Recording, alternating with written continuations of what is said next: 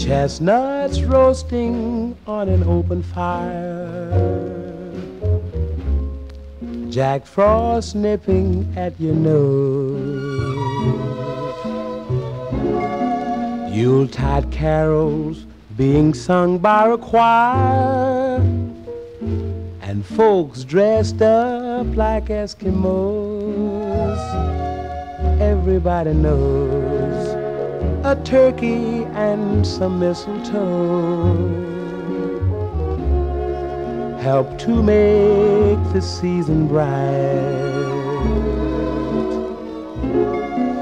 Tiny tots with eyes all aglow will find it hard to sleep tonight. They know that Santa's on his way.